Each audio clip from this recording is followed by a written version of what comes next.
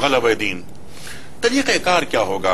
अल्लाह साहब इस बात पर ज़ाहिर हमारा ईमान है और कुरान करीम से हमें मिलती हैं शहादतें कि हुबल्लजी अरसद रसूल बिलहुदा कुल्ली वकफा बिल्ला है शहीदा लेकिन इसका तरीक़ाकार क्या होगा? गलब दीन कैसे होगा? और क्या ये क्यामत तक के लिए हर मुसलमान पर फ़र्ज़ है कि वो इजहार दीन की कोशिशें करता रहे? आमिर बिल मारूफ और नहीं अनिल मुनकर का उसूल हमें दिया गया है। जिस शख्स को जहाँ तक मारूफ का इल्म हो और मुनकर की शनाख्त हो वो मारूफ को आगे बढ़ाए और मुनकर को मिटाए। ये एक आम उसूल है। तावन अलबिर व तकवा वला तावन अलस्म वलउदवान हमें नेकी और तकवा पर ताउन के लिए कहा गया है। सबको कहा गया है। और बुराई बदी से हमें ताउन से गुरेज करने का हुक्म दिया गया है। अगर हम इन्हीं उसूलों पर कारबंद रहें तो हम गलब दीन में बहुत कुछ कंट्रीब्यूट कर सकते हैं और करेंगे।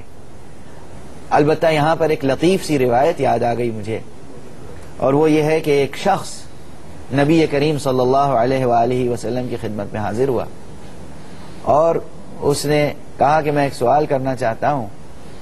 इस आयत के नाजिल होने के बाद, तावन अलबिर तकवा वाला तावन अलस्म वलउदवान हुजूर ने फरमाया, मुझे मालूम है कि तू क्या सवाल करना चाहता है।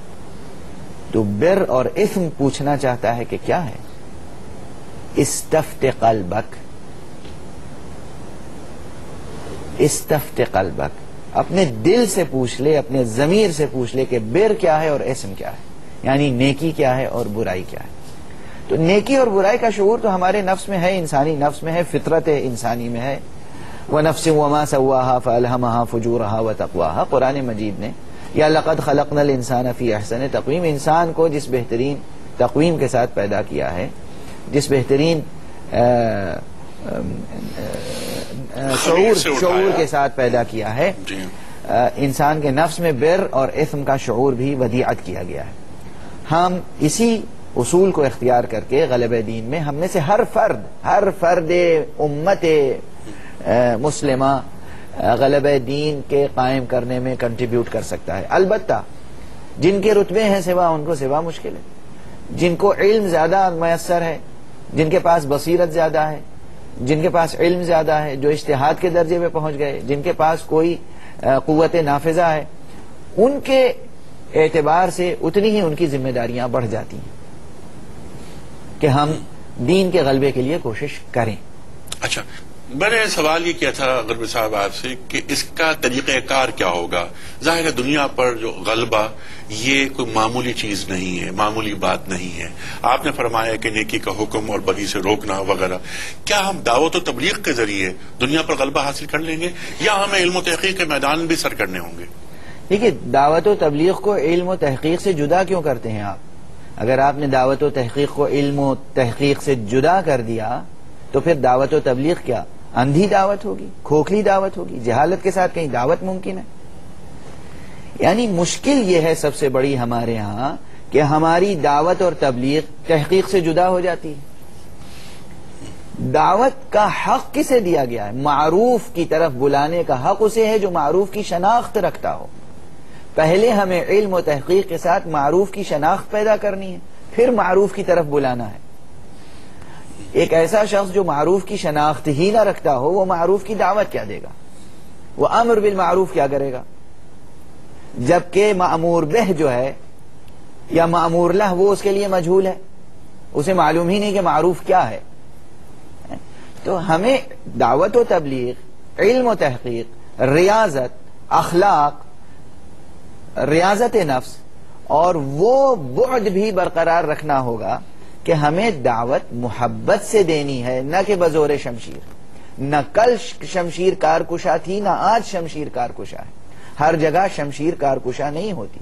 शमशीर सिर्फ़ दिफा में कारकुशा होती है। दावत व तबलीग दिलों को तलवार से फतह नहीं किया जा सकता बल्कि जहनों और दमागों को भी तलवार से नहीं फतह किया जा सकता। ठीक है। दमागों और दिलों को फतह करने के लिए हमें इल्म और रूहानियत की ज़रूरत ठीक है। स्पिरिचुअलिटी रूहानियत। हमें इस वक्त दुनिया को तोहीद की तरफ़ और दीन मोहम्मद मुस्तफ़ा सल्लल्लाहु अलैहि वसल्लम और मकाम ख़त्म नबूत की तरफ़ बरक़ात ख़त्म नबूत को पहुंचाकर हुसन अखलाक और रूहानियत के साथ दिल सोजी के साथ जो काम बुजुर्गान सूफिया ने किया है उस तरीक़ेकार को इख्तियार करके हमें दावत देनी होगी और कोई वजह नहीं है कि हम कामयाब ना हो। यानी वो बल्लिक माउंदलैक वाली बात यानी खत्म नबूवत तो हो गई लेकिन कार नबूत अभी बाकी है। बाकी है और उसके अमानतदार मुसलमान उम्मत है। अल्लामा साहब दुनिया भर के जो डेढ़ अरब मुसलमान हैं इनकी ख्वाहिश ये है कि ये एक दूसरे की मदद करें। दर्दमंद दिल रखते हैं। मैं मुसलमानों की बात कर रहा हूँ हुक्मरानों की बात नहीं कर रहा।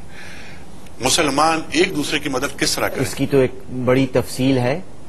और मदद जहाँ तक आपने कहा है, अभी मैंने जो आयत पढ़ी थी वो मुकम्मल जवाब है, मदद यानी ताउन। और कुरान कहता है वह तावन अलबिर व तकवा वला तावन इसम वलउदवान तुम नेकी और तकवा की राह में एक दूसरे के साथ ताउन करो, बुराइयों में ताउन ना करो। अगर ये शूर हम में पैदा हो जाए, और हम अपनी ज़िंदगी के रोज़मर्रा के रवैये में, बर्ताव में हम ये शूर पैदा कर लें और उसे बरतने लगें तो सबसे बड़ा ताउन होगा। और न सिर्फ़ मुसलमानों को आपस में एक दूसरे से ताउन करना चाहिए, बल्कि पूरी दिलसोजी के साथ हमें पूरी इंसानियत के लिए फ़िक्र करनी चाहिए। एक बड़ी शिकायत मुझे मुसलमान ओलमा से, मुसलमान दानश्वरों से और हुक्मरानों से यह है कि वो हमेशा मुस्लिम उम्मह के मसाइल पर गौर करते हैं। मुस्लिम उम्मह की बात करते हैं, हम तो मुकल्लफ बनाए गए हैं पूरी इंसानियत के मसाइल पर गौर करने के लिए। हमारा मुखातब हर इंसान होना चाहिए, न कि सिर्फ़ मुसलमान। कानन नास उम्मतों वाहिदा। अच्छा अल्लामा साहब, बहुत अच्छी बात आपने फरमाई कि हम तमाम इंसानों की बात हमें करनी चाहिए। हम बहसियत उम्मा भी ये देखते हैं कि फिरका वारियत हमारे अंदर एक जहर की तरह इंजेक्ट कर दी गई है। फिरका वारियत का खात्मा कैसे हो? जो चीज़ जहर की तरह इंजेक्ट कर दी गई है, अगर हमें ये शूर है कि ये जहर है और ये इंजेक्ट की गई है तो हमें उसके तिरयाक की तलाश करनी चाहिए। और उसका तिरयाक भी सिर्फ़ और सिर्फ़ कुरान और सीरत मुस्तफ़ा सल्लल्लाहु अलैहि वसल्लम अगर हम सब कुरान और सीरत पैगंबर सल्लल्लाहु अलैहि वसल्लम को उसके, उसकी कुल्लियत के साथ कबूल करें, तबईज ना करें। ये ना करें कि कुरान की कुछ आयतों पर हम अमल कर रहे हैं, कुछ पे अमल नहीं कर रहे हैं। सीरत के कुछ पहलू पे हम अमल कर रहे हैं, कुछ पहलू पे अमल नहीं कर रहे हैं। मुश्किल तो वहाँ आती है कि जहाँ हम खुद पैगंबर सल्लल्लाहु अलैहि वसल्लम की शख्सियत में तबईज कर देते हैं कि आपकी शख्सियत के दो पहलू थे।